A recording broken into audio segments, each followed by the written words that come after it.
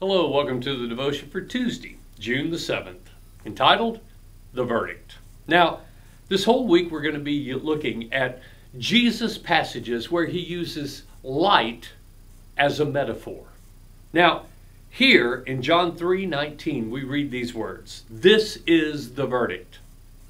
Light has come into the world, but people love darkness instead of light because their deeds are evil." All those, all those who do evil hate the light and will not come into the light for fear that their deeds will be exposed. Yet those who live by the truth come into the light so that it may be seen plainly that what they have done has been done in the sight of God. So the very first thing that we're looking at here is that light illuminates. He's talking about coming into the light, coming in and being open, being vulnerable, being transparent, letting people really have input into our life or see who we really are and how we really live.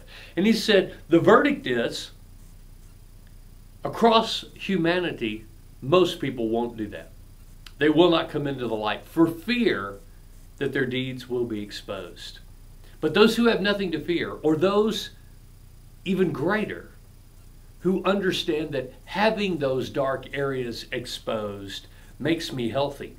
And I'm willing to allow the light to come in to expose those dark areas that I can be healthy, that I can be healed, that I can be made new, that I can change. Now, every one of us have to ask ourselves, am I the type of person with the right heart, character, maturity, discipline that I will be different than the rest of the world. That I will be not only willing, but eager to come into the light. Because I know that even though it may show something that I would rather not have exposed, it will make me healthier. It will make me more alive. So let's pray. Father, Lord, I know I crossed over from being immature to being mature, from being foolish to being wise.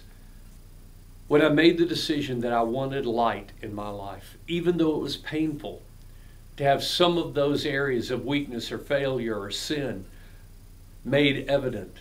But God, I know it healed me. I know it made me stronger.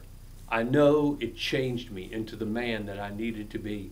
And Lord, as that process continues, I have to daily be willing to come into the light to let your word, your truth, to let others have that access.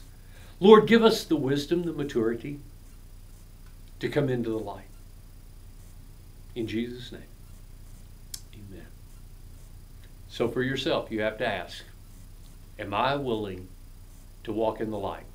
Or am I like the rest of humanity that stays in the darkness? And I'll see you tomorrow.